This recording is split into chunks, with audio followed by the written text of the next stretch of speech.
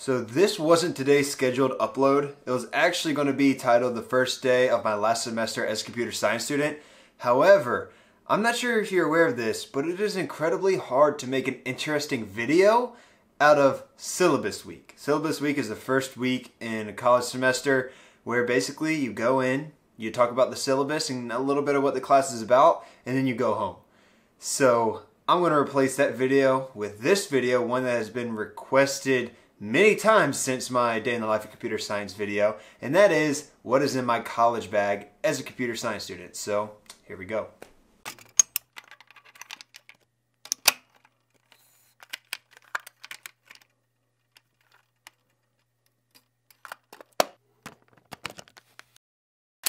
Before I get into actually showing you what's in my bag, let me preface this by saying I am very simple when it comes to what I bring to school on a day-to-day basis. So just keep that in mind. This is the bag that I use every single day for school. It's nothing special. It's not one of those, you know, very popular Herschel backpacks that every tech YouTuber seems to be using. It's not any special computer or photography or videography type backpack because, you know, I make videos and stuff. It is a simple Volcom brand backpack with one main zipper with a laptop slot inside of it with one front zipper that kind of, you know, can hold pens or what have you, and then a front bottom zipper that I normally just put water bottles in. But the real kicker to this bag is how I got it. Now, this is a Volcom bag. Volcom, if you haven't heard of it, it they do like uh, casual wear for snowboarders, surfers, skaters. At least that's like the genre they target. So I guess it kind of fits me. If you can't tell, I, you know, wear a lot of surfing and snowboarding gear because, well, I've been surfing, surfing and snowboarding all my life. But Volcom teamed up with a surfboard manufacturing company out of California named Superbrand, and they went up to local shops all up and down the East Coast and held what I'll call a raffle at each one. So they were giving away like four or five Volcom products, and then one big product, a surfboard by Superbrand. Now, mind you, this is a $600 surfboard, like many are, that you could potentially win for buying like a $5 item at the local shop. Here in Virginia Beach, they had it at WRV. So I went to WRV, I bought something. I was entered into the raffle. You know, they called someone's name for the first prize, called someone else's name for the second prize. I'm like, I'm not going to win anything. The third prize was not this backpack. It was actually a, a towel, a Volcom branded towel with like, you know, the hands from that, that iconic image in the Sistine Chapel. And they called my name out. They drew my name out of the hat. They called it out and I won that. But what they did was they took all of the names and put them back into the box right after they called them because they wanted to give those people a chance to win the big grand prize, the surfboard. So right after the towel was the backpack, this backpack right here. I won two things in a row. They didn't say, "Oh, he already won something, so let's just take it back and uh, you know choose somebody else and just give him a chance to win the surfboard as well." They gave me the backpack as well, and then you know next prize went, next prize went, and then the surfboard came up. Remember when I said I brought Molly and my buddy Dylan?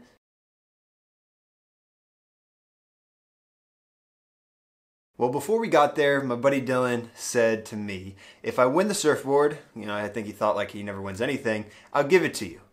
Well, sure enough, they pulled Dylan's name out of the box.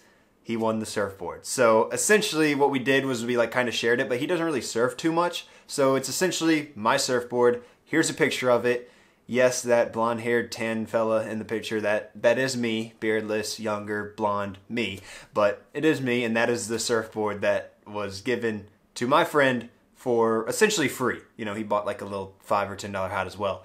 And we basically made out of there like we went in and robbed a bank. We just like, okay, towel, backpack, two hats that we bought, and then a surfboard.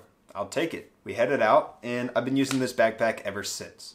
Now that that story time is out of the way, let's talk about what is actually inside of my old beaten up backpack, and that is my old beaten up, run through the mill, mid 2012 MacBook Pro. And as you may be able to see on the back, I am missing one of these little foot pads back here and I am missing a screw up here and all these stickers are on it not because I like stickers on my laptop but because there's a dent under here, a dent under here, a dent under here, a dent under here, and a dent under this one as well. I mean you can even see this sticker just how destroyed it is because you know sliding it in and out and then dropping it here and there. I try to take care of it but I mean you got to use your equipment. If you don't use your equipment you just baby it all the time can you really get, you know, its full worth out of itself? I'm going to answer that for you no. But when it comes to computer science courses, for me, this works perfectly. I obviously do iOS development, so I need a MacBook Pro, but I am the minority when it comes to having any any type of Apple device in my computer science courses. I mean, in any regular course, what you'll see is most of the students probably having some type of Apple device, an iPhone, a MacBook Pro, or you know whatever other Mac laptop that they use. But when it comes to computer science, ho oh, ho ho, no no no, you're not going to see but me, the anomaly, maybe one or two other people in like a class of 30 that use a MacBook Pro. Not because they're bad, just because I guess I don't know. I mean, I do iOS development, so I need a MacBook Pro. I didn't know I was going to get, be getting into computer science when I bought this six years ago. And then everybody else in my computer science courses will have a Windows computer, hopefully running some type of Linux distro on it. If they're still running Windows, or if you're still running Windows, I mean, it gets the job done. That's what I'm running on this bag here. But for computer science, I mean, it's not really just look into Unix-based operating system, one of which being Mac OS, another of which being all of you know Linux distros, and you'll understand why you don't want to use Windows operating system and why you want to use either Mac OS or Linux. But as far as this 2012 MacBook Pro, I have replaced the hard disk drive, which was incredibly slow, with a solid state drive. For those of you who don't know the difference between a hard disk drive and a solid state drive, a hard disk drive is, I mean, just that. It looks for the information while spinning a disk. So if you know your computer bumps up against something, you shake it a little bit, it could screw it up. But a solid state drive is just that. It's a solid it's in a solid state. So it doesn't spin or do anything crazy like that. It just hangs out until you need to find something. It finds it faster than the hard disk drive and if you bump it around, you're fine. All right, let's move this out the way and move on to the next item. This next item is arguably more important than my computer, at least in 80% of my classes where I don't need to actually sit on my computer and program, and that is my Moleskine planner. Now, in all honesty, I didn't realize that Moleskine had some super cult following. Molly actually bought this for me, my fiance, and I really, really like it. As you can see, on the left hand side, we have all of the days and dates, and I can write down whatever I need to write down for that day. So if I need a to do list, I'll write it in here. If I have something due that day, I'll write it in here. And then over here, I just keep whatever notes that I need. And since I'm a very forgetful human being, I need this planner because otherwise I'll just forget to do like all of my homework and then I'll fail all of my classes and that will not be good. So my basic recommendation for this is at the beginning of each week, whether that's a Saturday or Sunday or a Monday for you, you ought to go to each of your classes, write down what you have due that week and what you need to do that week. Maybe write down two weeks in advance so you know like if something's due on the next Sunday or the next Monday or the next Tuesday so you can work on it the week before. Write it down in your planner so you don't forget. And I, I just run by this. And I also write down everything that I did on that day afterwards. I just, I have a whole entire system that I put into this planner. This actually is the 2017 version. I need to get a new one. On to item number three and four is my five subject notebook. Of course, most semesters run roughly four, five, maybe even six courses. So having a five section notebook is perfect. As you can see on this front page, what this used to be is my CS40, aka Intro to Artificial Intelligence section. And as you can see written up here, it actually used to be for a different course. Basically what I do on those dividers that you just saw, I will write down whatever course I have and then write down all of my notes for that course in that section, obviously. But at the end of the semester, in the beginning of the next semester, I have all of these blank pages in every single section. There's probably only like three or four courses, probably like two courses that I had that completely filled one of these subjects and then I still had all this blank paper. So what I do is I rip out those pages, throw them in the trash if that's necessary, or keep them if that's necessary, and then I'll cross out what my previous course was, and then write down this semester's course. CS480 was actually last semester's course, and then I don't know what was before that, maybe like uh, some type of, so I think it was a software engineering course, was the spring before that. So now that we're in spring 2018, that is going to be probably my mobile app development course because I put my favorite and what I deem most important in the front. And let's just say I have a soft spot for mobile development. And now you're like, Forrest, that was only one item. I thought you said this was item three and four. Whoa, I didn't forget it.